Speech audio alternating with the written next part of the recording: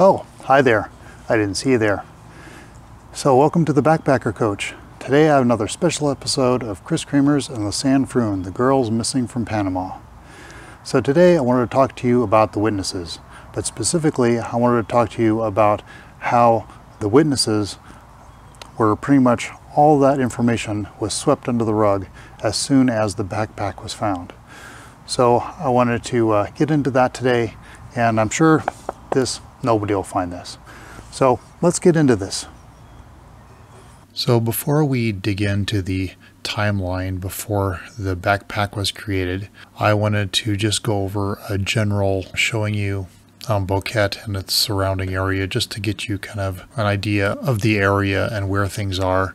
And then we'll dig into the uh, the timeline of before the backpack. But before, first I want you to notice this here is this little area right here is Boquete. And one of the things you'll notice is right over here is remember the picture of the rock with two girls on the guy's phone that is dead now? That is this place. And that is 45 to 50 minutes away from Boquete. Now, people were always saying that this is near the Caldera Hot Springs. This is actually where um, Caldera Hot Springs is, which it's sort of near, but it is not real close.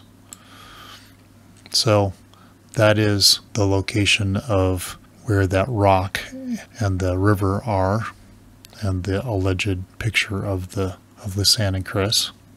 And this is where the actual Caldera Hot Springs are. All right. So next, let's go to kind of the area of the south part of Boquete.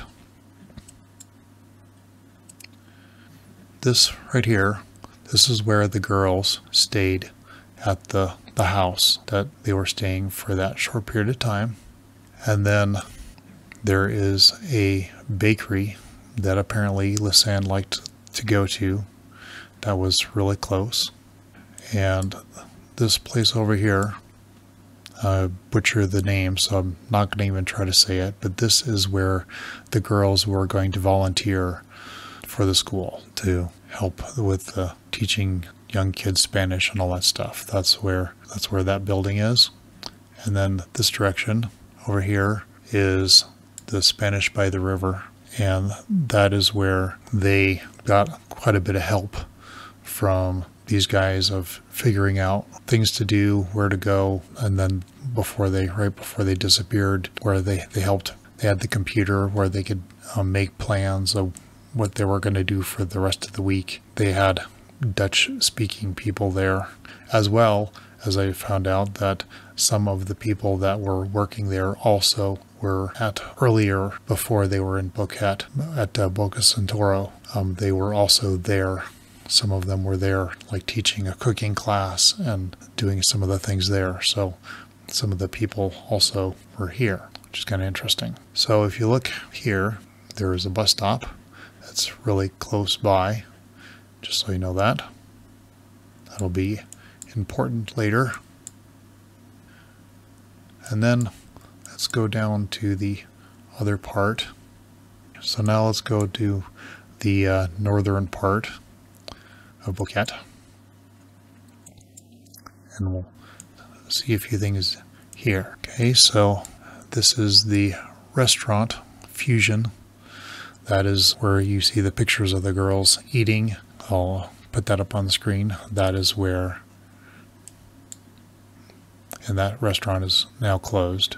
There is another restaurant, that restaurant Nelivies, I guess how you'd say that. That also is important. That we'll get to that later. And then there's also the grocery store. I'll post put a picture up there of that. That's very important for later. And there over here is the Boquete Park, and that's where you see the pictures of them by the flamingo and by other things. And I'll post put a couple of those pictures up. So that's where that is. Okay.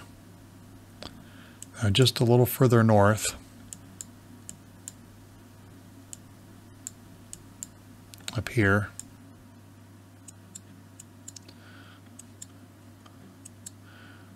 we have the, the Casa Pedro. and then you have, Then we have the top of the La Pedora de Line, is how I believe it's said. As well as over here, you have the um, trail of the La Pedera Line, which runs up along the backside here. Although I'm not sure whether it goes to the top. so that's um, very important for later. And then up here, this is where the El Pianista restaurant is and also where the beginning of the El Pianista trail starts. Okay, so that is the general overview of Boquete. So we start at Spanish by the River at 10 o'clock, and that's because Kris and Lisanne had a computer check at 10 o'clock a.m., and it's believed that Lisanne's cell phone made a Wi Fi connection at Spanish by the River at 10:10.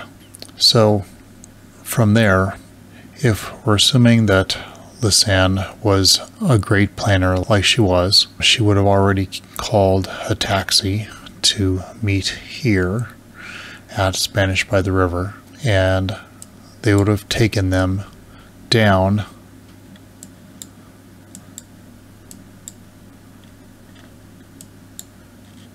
to the restaurant Nella, Nellavies, and it also seems to indicate that Lisanne's cell phone connected to their Wi-Fi at 1026, which is feasible if um, and Kris got a, a taxi like right after their check-in. It only takes eight minutes to go from uh, Spanish by the River to the restaurant for breakfast or brunch, whatever it was. Now, also, something that is in uh, some of the different uh, blog posts is that when they were at the Delvies, that is um, alleged that they were talking to two strange men there. They don't really know who it was. They never were able to find out, and we're really not even sure whether they were actually at the ne- the or not, because there is no official, nothing official that says that they were for sure there. But that is where they think that the uh, the Wi-Fi was connected there at, at Nel Venice or Val Valise, I don't know, whatever it is. And so let's say that they had breakfast there. So let's say from 10:30 to 11:30 and then they decided after that that they would go to the grocery store to pick up a few things because they needed a few things for their their hike and stuff for the day. So that's not very far away. That's only from here to there, which is only it's a very short walk. So just a few blocks there. And the next interesting thing about um, them going to this grocery store is that the police did say that they did have uh, video footage of them in the store, but that it was accidentally deleted. And so we don't actually have an actual time of when they were there. But that would have helped out so much with having an actual time, an actual a visual of what they were wearing. That would have made all the difference in the world. But of course, that is gone. So, uh, one more thing to chalk up to crazy things that happened on this case. From there, so somewhere after say 11:45 or so, they would have been done here and they would have gone back up um, back up to Spanish by the River to make their final plans of where they were going to go for that day.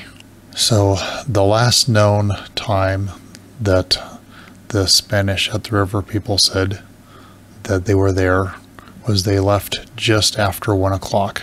Okay, so we know by Ingrid, like I had said before, that the girls were at Spanish by the river at 1 o'clock. And they just left just around 10 after 10, or just about 10 minutes after 1 o'clock, the Spanish by the river. So that's pretty much, honestly, that is the last place known that the girls were, that we know 100% sure that they were there. From there, it gets a little more fuzzy. So we're going to go over about three to four different scenarios of where the girls could have gone, and we're going to go from there. So the first one is the taxi driver and what he said where he went. So the first is that they actually have witnesses that saw Kris and Lisanne get into a taxi over here, I believe, and the taxi driver stated that he picked the girls up at around 1:30 which is interesting because apparently several um, people actually talked to Kris Kristen Lazan before they got into a taxi. Then the next part is that the taxi driver said that he took the girls to the beginning of the El Pianista Trail and dropped them off at 145. Now, what is interesting about the timing of 145 is that there are literally almost no witnesses that see or allegedly see Kris and Lisanne on the trail or near the trail before roughly 3 o'clock, except for this over here, but we'll get to this in a minute. So uh, that's also possible too. So the first possibility is they saw a shop, the food, this shop thing that was nearby, and wandered around that first. But the uh, Frank, who is the shop owner, said they looked like they already had been walking for a while.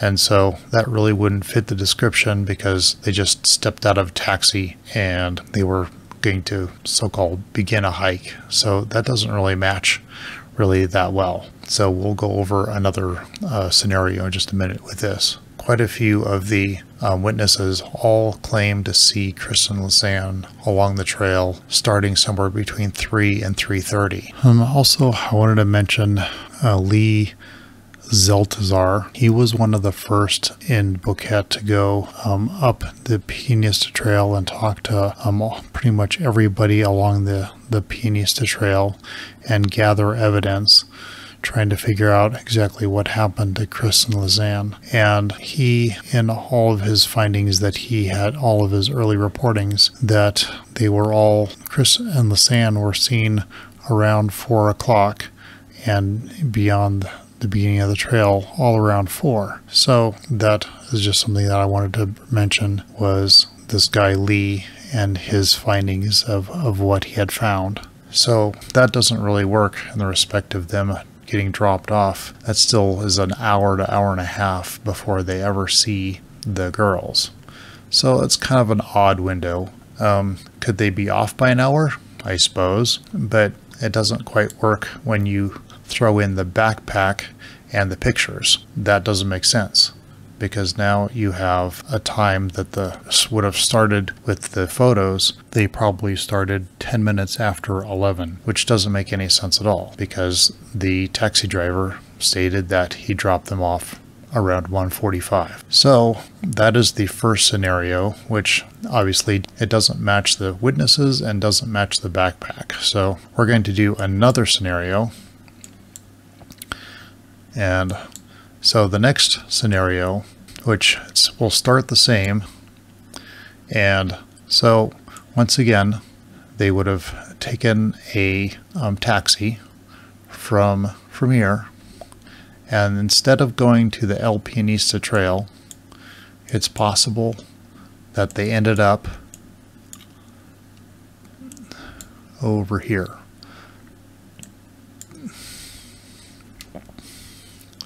Dit neemt ons mee naar Casa Pedro, waarschijnlijk de laatste plaats waar Chris en Lisanne zijn gezien. Een van de twee heeft hier gezeten, de andere heeft hier gestaan. En ze waren dus van plan om terug te gaan naar Boquete. En ze hebben hier een tijdje gezeten. De meneer hier van Casa de Pedro, die heeft ze gezien.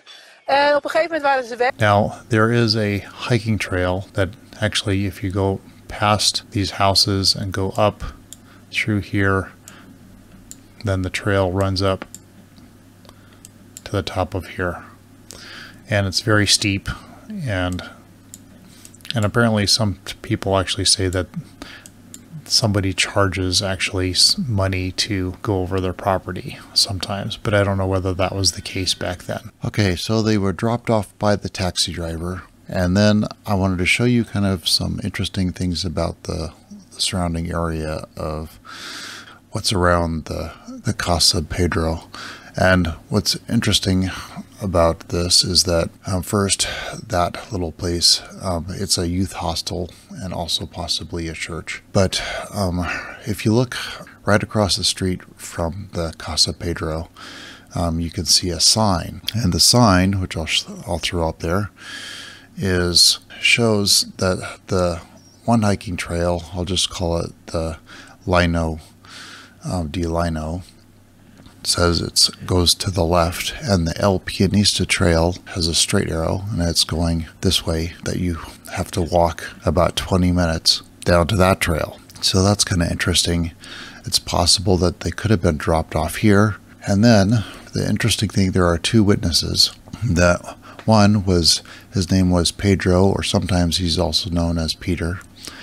And he says that he talked to the girls and they asked whether or not this was the El Pianista Trail. And he said that no, this is not the Pianista Trail, but this um, trail over here is a nice trail. Um, you can see the um, all of Boquete from the top of this um, hike. And it's very pretty, that kind of stuff.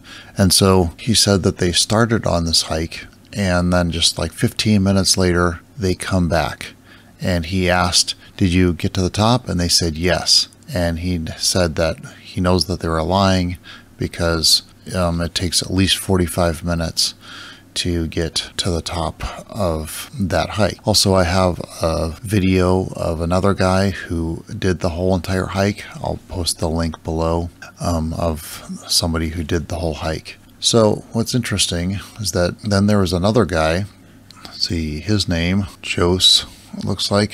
And then Jose um, also spoke with the girls, said in the late afternoon. And what's what's interesting is that he saw them sit down, you know, by that the Casa Pedro, and they sat there for he says a very long time. And so we're going to go over kind of like what that exactly means. But oh, the other thing I wanted to tell you is that he they came back and they said they were very tired and they didn't want to do any more hiking, and they just wanted to go back to Boquete, which is kind of interesting. And then he explained to them how to get a taxi where to get a taxi. And then he saw them just sit there for, he says, a long time, which is kind of hard to know what that exactly means. But I think we could figure that out by some of the other stuff here that we're going to go over. So if they they arrived there same time as what we think around two o'clock and so then you have them talking for say a couple minutes and then they walk up the trail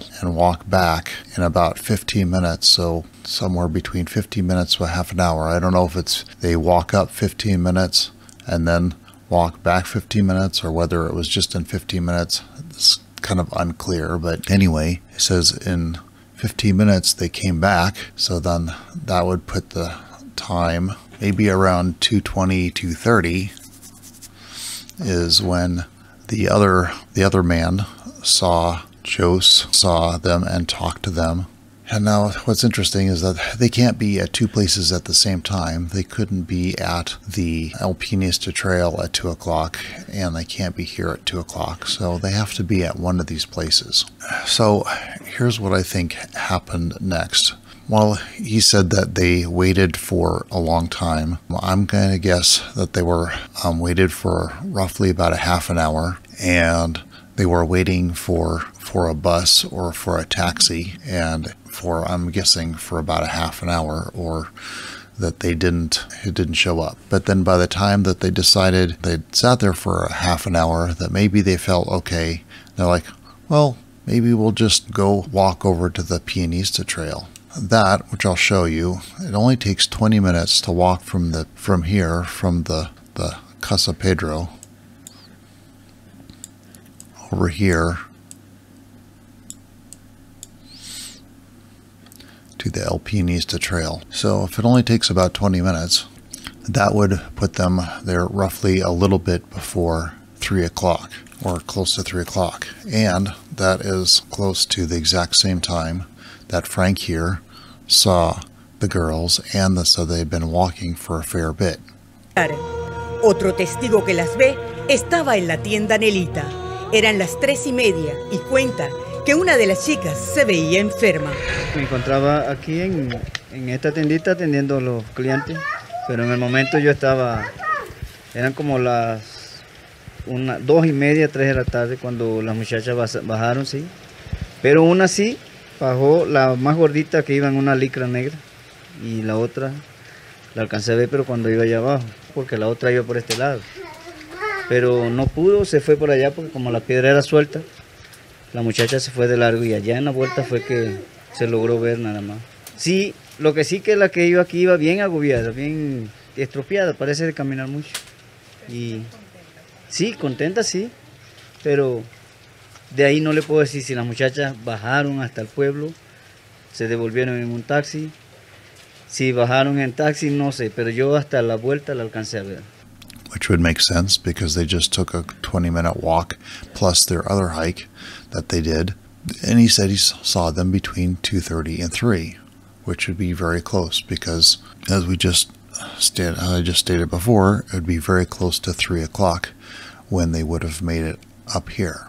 So next is the fact there are more witnesses. The first witness that is talked about is the there is a restaurant employee that said that she talked to the girls between 3 and 3:30 which works very good with that scenario that we just talked about. Now, one interesting thing um, to mention the owner of the El Pianista also saw the girls hitchhiking, which I don't think that they were hitchhiking, or it would not be those, not be Kris and Sam, because I don't believe that they would be hitchhiking. I think they would know better. But maybe he just mistook them for hitchhiking just because they were walking along the side of the road. But he said that he also saw them walking along the side of the road somewhere between 2:30 and 3 as well. The next interesting thing is if you start down the Pianista Trail, it only takes a few minutes to get down to the first witness on the trail, and that was Olivia. And Olivia is that this house right here that is I'll show you, I'll put that up. That's that bluish greenish house that you first walk by. And she says that she saw them around four o'clock. Para quien no pasaron desapercibidas, fue para la señora Oliva. Esta testigo percibe el peligro del bosque para estas chicas. Ahí yo las vi cruzando, eh, como a las cuatro y alguito de la tarde. Si yo hubiese sabido que ellas me iban a entender, yo hubiera bajado y le digo que no, no subieran porque era demasiado tarde para ellas. El día estaba opaco y se iba a oscurecer temprano. Así que, pero ellas no me iban a entender porque yo no sé hablar inglés y ellas no sabían hablar inglés. Es que cuando las vio usted, ¿en qué pensó? que era demasiado tarde y que eran dos niñas que iban solitas para la montaña y que iba a oscurecer más rápido que en otras ocasiones porque el día estaba feo. Así que ese fue mi, mi pensamiento y se lo hice saber a mi esposo que estaba ahí conmigo. Pero al día siguiente nos enteramos pues que, que se habían extraviado. Algo más que usted viera y que le llamara la atención.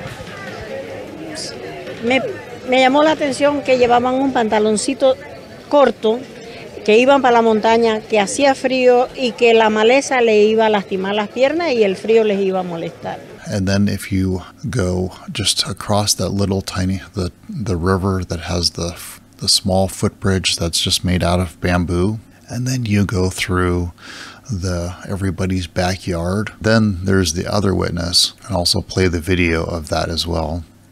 Por allí pasaron Chris y Lisanne, quienes además descubrieron un frágil puente artesanal, hecho de bambú, madera y alambres, por el que tuvieron que cruzar. En ese camino, Martina de la etnia Nove arreglaba sus plantas cuando la saludaron. Yo trabajo en esto sembrando plantas. Y yo estaba aquí cuando la chica pasó. ¿Cómo sabes que era las dudas? Bueno, porque, bueno, ellos eran, andaban dos muchachas juntas, se fue. Entonces, cuando, entre tres días, viene el, el guía que es Feliciano González, viene, me pregunta y me trae el foto, ahí donde que me di cuenta que era ella lo que había yo visto. ¿Y, ¿Y qué te acuerdas de ella? ¿Qué fue lo que viste de ella? Bueno, como yo estaba aquí, yo no, no, o sea, no reparo la persona, bueno, solamente veo la cara porque ella pasó y me dijo, "No es eso". ¿Te saludaron? Sí, sí. Y, y entonces no reparé más con más, o sea, no reparo porque este es un sendero de los turismos y ¿Iban solas? solo, sí. ¿Viste entrar algún carro o algo? Bueno, eso sí, no. But then there's the other witness that also saw, allegedly saw Chris and Lisanne somewhere around four o'clock.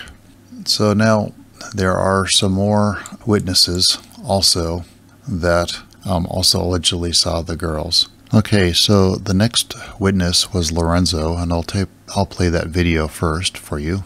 Lorenzo es guía de turismo y conoce todos los senderos de Boquete. Fue el último testigo que las vio. Bueno, yo vi dos mujeres, dos personajes, así como dos mujeres, pues, pero yo estaba muy lejos de donde estaba. Y cuando usted las vio, ¿ellas hacia dónde iban? Bueno, llevan casi de espalda para hacia allá, para hacia arriba.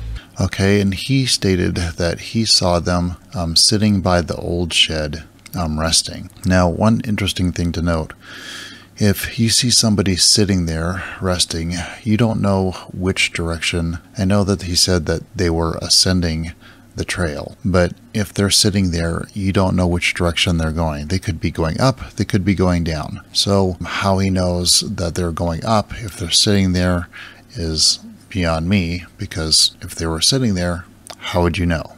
But anyway, um, he says that he saw them at four o'clock by the old shed. So if um, Lorenzo apparently lives somewhere in this area of by that old shed, and so now if so, if you take the four o'clock and you go backwards to the beginning of the trail, you end up at roughly uh, 3:30, which is also when the the people at the beginning of the trail at the El Pianista saw the girls. So that also kind of works out for timing. And you can do it the other way around if you want to say that Lorenzo was off by half an hour and it still works out if you go you say that uh, instead Lorenzo saw the girls at 4:30 that would just put um, them starting the trail at around 4 which is also what Olivia had said so it still works out all generally all in that same time and then that would mean that the employee at the El Pianista was only, you know, about a half an hour off. That is not bad at all. So it's still very feasible that they would have started around four. Now, there is one more witness who said that they could see them uh, very far off in the distance from his house. And that's just 10 minutes past the old shed.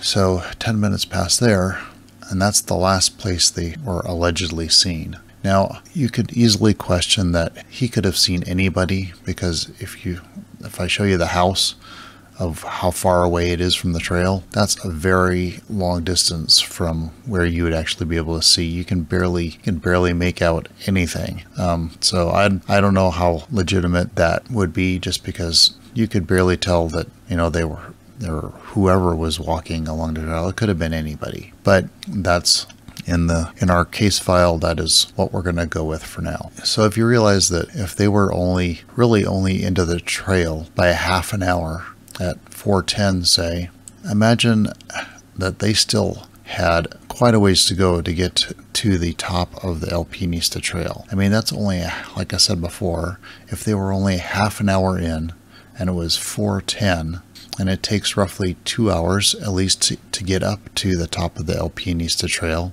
so you still would have to get saying that they started at let's just say they started at 3:30. That's 3:30, 4:30, 5:30. so they would have, you know, roughly made it to the top of the El Pianista if they made it that far. Um, at 5:30, and so then now you're saying, well, now they have to get down. So say it takes about an hour and a half to get down. That would have put them close to Seven o'clock, which is almost a half an hour past sunset. Now, a little interesting thing to note is that the sunset, I believe, was around 6:30. So they could have made it back up and down in that time. Um, would have been obviously getting a little dark, but it's feasible that they could have done gone up to the top and back. So it is possible. Now, of course, if you go by the other pictures, you know they went past the top of the El Pianista Trail for about a half an hour. And so that's even pushing it even more. So we established that they would have gotten to the top at 5:30. So then they would have gone down all the way to the last known picture, which was 508, and that would have put them down there somewhere around six o'clock. And then let's say if they wanted to go back up, then that would have taken probably roughly about an hour. Then they would have gotten back to the top by seven o'clock, and then to get back all the way to the beginning of the trail, they would have gotten back to the beginning of the Pianista somewhere between 8.30 to 9 o'clock. It's really kind of hard to believe that girls would have been out there that late, been walking around in an unfamiliar place nearly at sunset, or and it would be pretty dark, I would assume, in most of the jungle because if you're under the jungle canopy, it would be pretty dark, you know, because sun would be setting. It would it would be dark. So, I mean, obviously not pitch black, but I mean, when the sun is low and you're in the shade, you know, you could tell it would be be relatively dark. So that would be kind of crazy that I would think that girls would even be out there that late. So just for the fun of it, we're going to say that that they made it to to hiking about to about 4 410 and decided that they were tired and they didn't want to go any further into the the trail. And we're going to say that they came down and they met someone and maybe a red truck. And we're going to say that that they were probably tired of walking. They might have met somebody that they recognized. And i obviously don't think that they would have gone with somebody you know in a red truck. You know they wouldn't know. Because anyway just just for the sake of the other um, the pool picture with the girls we're going to do that just for the fun of it. So say that they or they came back down somewhere know, a little bit after four o'clock they met uh, someone that they may have recognized and then they would have driven back to the swimming spot. And let's look at the map here see how long it takes. It would take roughly about 54 minutes to go from the El Pianista up that area all the way over to the swimming spot. Now, what's interesting to note, if you look at the swimming spot, you can tell that if you look at the picture, that it was either taken in the early morning or taken in the very late afternoon because it's mostly covered in shade, but you can see at the very top there, you can see that there's a little bit of sun. So it's obviously either at the end of the day or it's at the beginning of the day. Most likely, I would imagine at the end of the day. I don't know how many people obviously would swim in the morning.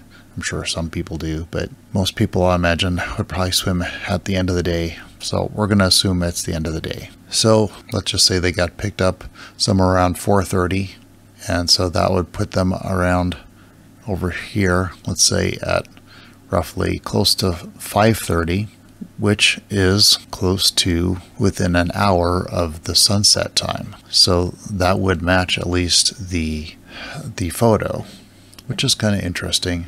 Do I actually believe that happened? Not necessarily, but I thought we could at least play out that scenario just for the fun of it anyway. Now, there is one more possibility, and there's a few things that I left out specifically just to uh, not confuse the matter because there are a lot of uh, confusing things uh, about this case. And so, if you want to read like the whole, be totally, really well confused, I do suggest that you go and read the whole blog that uh, Scarlet, but her blog is very detailed, and that's where I got most of my information from. So, Scarlet has a lot of information and it'll can go over all the different things. I kind of simplified it a little bit here just to make it a little more, you know, not quite so mind numbing. But uh, Anyway, we're going to go over another scenario that also might be possible. So the other possibility is that it was just a case of mistaken identity and that they everybody that thought they saw Kris and Lisanne that was not them somebody else which is possible. Um, we've talked to other people in other cases that like a hundred uh, you know a hundred percent of all the witnesses were wrong. So it is possible um, and that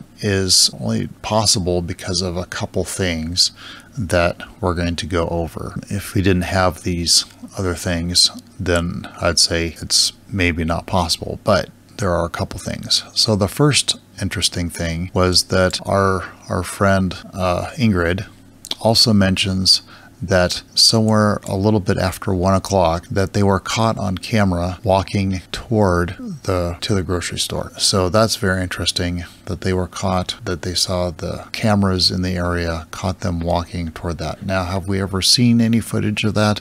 Of course not because nobody's ever released that. So do we know if that's true? Not necessarily, but we're going to take it as that that was something that was real. That there's no reason why she would lie. So if we say that they were down here at one o'clock. The next interesting thing is that around two o'clock, Kris talks to her boyfriend through one of her applications and says that um, they're going to go for a walk. She talked to her boyfriend at two o'clock. Now, here's a couple interesting things about this. One, the girls normally always kept their phones on airplane mode unless they were at a restaurant or whatever, and then they would take their their phone off of airplane mode and then connect to Wi-Fi. Hence the reason why we believe that they connected to the Melivis and to the Spanish by the river and that kind of thing. But we don't know where they connected at two o'clock. It could have been, you know, anywhere here. It's also possible. Some people say that they could have um, connected at the El Pianista Trail at two o'clock. We don't really know where at two o'clock they were at. We have no idea. But here's the thing if they were talking, if Kris was talking to her boyfriend at two o'clock, that would definitely mean there's no way that they could be up on the trail or coming back to the trail or be way back into the El Pianista trail and talking to, you know, her boyfriend because they were still somewhere, you know, probably in Boquete somewhere and still safe at two o'clock because they they were you know they were still safe. So i'm going to play the video of of chris's parents saying that and then we'll go on from there. Volgens mij en ik weet dat Stefan de vriend van Chris uh, dinsdagmiddag nog contact heeft gehad. Twee in Nederlandse tijd ongeveer. En uh, ja dat is het laatste bericht. Twee plaatselijke tijd. oh twee plaatselijke tijd. Oké okay. nou, maar in ieder geval en, en hoe, hoe ging het toen met haar ja, goed. Ze hadden het erg, uh, erg naar hun zin. En uh, ja, ze waren heel vrolijk en heel enthousiast over uh, wat ze allemaal meemaakten en wat ze allemaal zagen. En hadden er erg veel zin in. Ik had, u zei ook van, ze hadden allemaal plannen ook nog hè, voor de rest.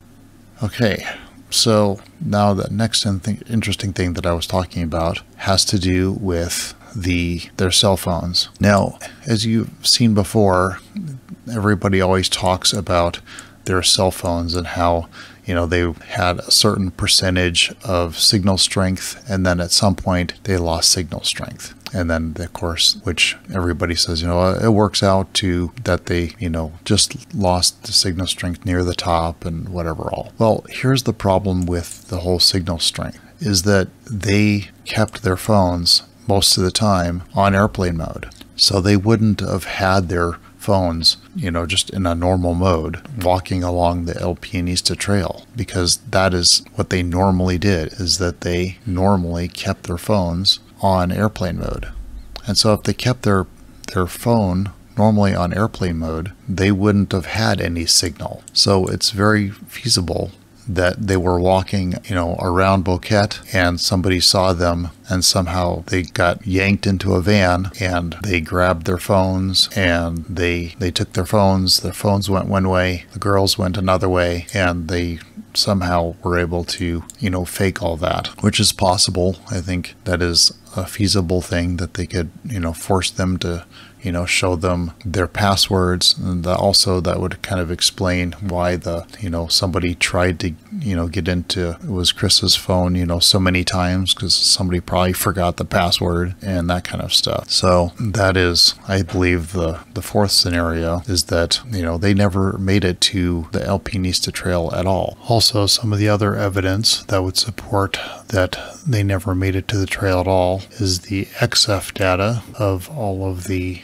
images as well as the images themselves. The first part, the EXIF data, is a disaster. There's so many things wrong with the EXIF data, as well as the images themselves. Obviously, you can look and tell that there's something just not right. There's that there are just things that are not right that you would think that uh, they would have taken more pictures. There'd be more pictures of, of the trail, of the girls just something is not quite right. And so between those also those two things that that would also would lend itself to the theory of or never made it to the El Pianista trail at all. That's is kind of why it goes back to what i had said before about why the theory goes of why they planted the backpack in the first place. Because once you plant that backpack there's some amount of closure and then it just all of a sudden all goes away. And so you're, I know everybody's always asking, why didn't they just not have anything and make everything all disappear? Well,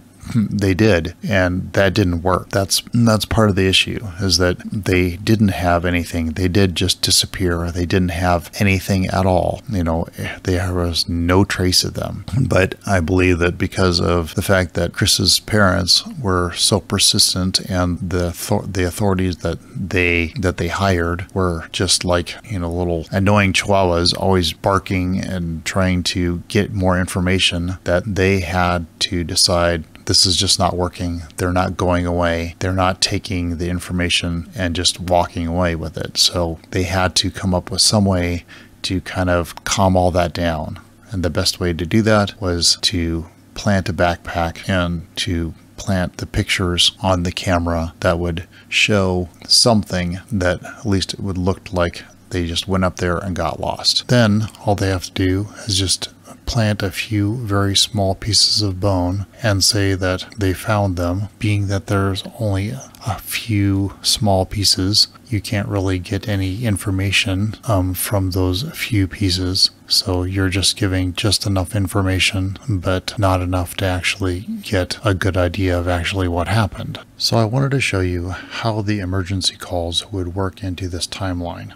So first, like I had said before, if the girls would have started out at 3.30 here at the beginning of the Pianista Trail, and it would have taken them 45 minutes to get up to the small stream crossing by 4.15. Then just five minutes later, by 420, they would have made it to the, the last place that they were seen. So now what's interesting is just 19 minutes later, they would have made their first emergency call. And then 12 minutes later would have been the other emergency call, which is a whole nother issue by itself. We're not going to get into that right now. Going back to the first emergency call, that means from here they were only 20 minutes into another hour hike to get to the top of the El Pianista Trail. So they wouldn't have made it to the top until roughly 5:15 somewhere between 5:15 and 5:30 they had a long ways to go. They would have somewhere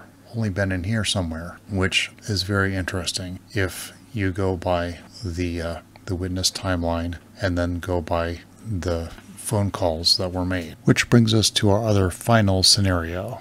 This scenario is very popular with the Panamanian people, and what we found out is that they believe that Kris and Lisanne were taken by a group of indigenous Panamanian people. There are many indigenous tribes in Panama, and each with its own laws and traditions. But there are some smaller tribes that are cut off and have always been hidden. They have no contact with other nearby tribes because they do not approve of the tribe practicing cannibalism as a means of survival. The government in Panama has no jurisdiction over these indigenous tribes. They rule themselves. They have their own government and internal laws. So the government doesn't interfere with the indigenous tribes. So what's interesting is that they told Kris and Lisanne to not, you know, go alone. But what's interesting is they were told to not go alone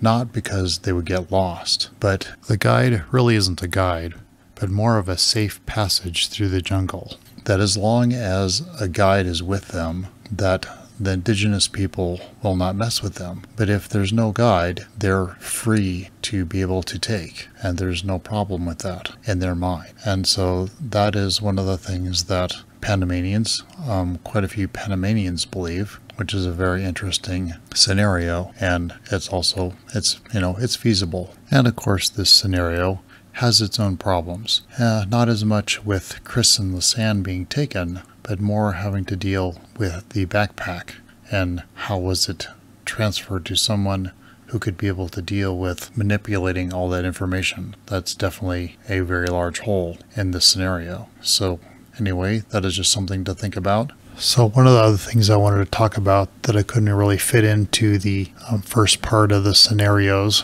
was the uh, attorney that Kris and Lisanne's family had. And it's very interesting that they seem to be alluding that his attorney was being threatened. The day before, when we arranged this meeting over the phone, he'd hinted that his life has been threatened over the Kremers Froon case. Perhaps for that reason, he's accompanied to our table by a bouncer sized bodyguard. Which, if, you know, the girls had been lost and fell off just the monkey bridge and and there was no foul play involved. Nothing really bad had happened. Why would you know an attorney be threatened? That's kind of suspicious right there. As well as there's a couple other interesting things that this attorney said and i'll play the video for you. I just think it's kind of interesting about what he said. If my client and Miss Froon had died of natural causes, Arocha says in a rapid whisper, so as not to be overheard by nearby tables, grease from decomposition would impregnate the clothes and backpack. The bodyguard and I both lean in with interest, and Arocha continues in the same hushed tone. It's almost impossible for the bones to be in this condition, he says, and points out that the lead forensic examiner had publicly speculated that lime might have been used to hasten decomposition. The evidence seems to have been manipulated in order to hide something, says Arocha, who at one point threatened to take the case to the International Court of Justice, ICJ. At the very least, there should have been a criminal investigation. He slaps his hand on the table. Even the Panamanian forensic examiners wanted to do that, but the prosecutor threw out all our petitions. Some high profile members of the Panamanian press also were skeptical about the official theory. All right, so just wanted to show you guys that video and just wanted to put that out there. And that was from the uh, Daily Beast, I believe. So, anyway, then there's just one more thing I wanted to go over Okay, the then the last part I just want to go over is there are a few other sightings that are kind of interesting in the respect of where uh, where they could have gone possibly and so we don't really have times on these or don't have a lot of information but there's these two other uh, spots here where they were allegedly sighted and clothing description way down here so you're probably wondering how far away is that from everything else. And so I'll show you the map.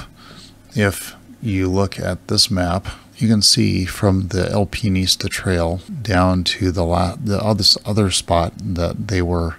This is the a restaurant called the Rock, and it would only take 25 minutes to walk down to the Rock. There's a couple restaurants actually.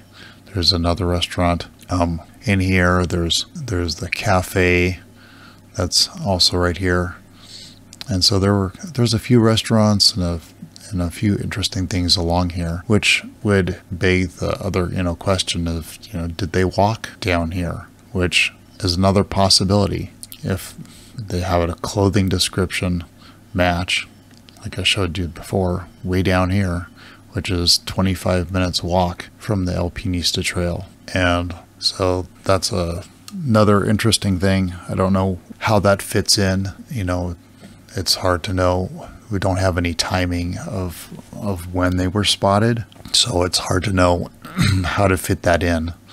But I just thought it would be interesting to mention that there's they were also apparently spotted in that area. And that's just one other thing I thought I'd mention is that of all the places that, you know, they could have been seen, it's very interesting that the they were actually spotted in a small area that, you know, they didn't pop up, you know, over here and over here and over here and over here and you know, they didn't pop up all over the place in, in random places. They were you know, spotted in a very small area, which to me, you know, that would suggest that people were actually correct. That, you know, they, like I said, if they're all over the place, then you'd, then it'd be very confusing to like, you know, see where they were at. But it's not really not that sporadic. It's actually, they were, or possibly seen, at least in a small area. It, it's not, uh, not all over the place, which is kind of interesting. And that was another thing to mention is that most of all of the the witnesses, even if you don't want to go say the witnesses were correct, but all of them were very confident that that they all went up, you know, around 3.30 4 o'clock. And and as soon as the backpack was you know found and they showed the pictures pretty much all the all the different witnesses was all just swept right under the rug. And so so you might be thinking well all those theories are a bunch of hogwash. And I only want to believe only the pictures and I'm going to go by that. So let me remind you of something that if you go by the pictures, there are no witnesses of any taxi drivers that have come forward of getting them to the trail by a little bit before 11:30 and there are no witnesses of Kris and Lisanne on the trail at 11:30 and beyond. So that's just something to consider. Thanks for watching and well uh, don't forget to like and subscribe and don't forget to check my next video.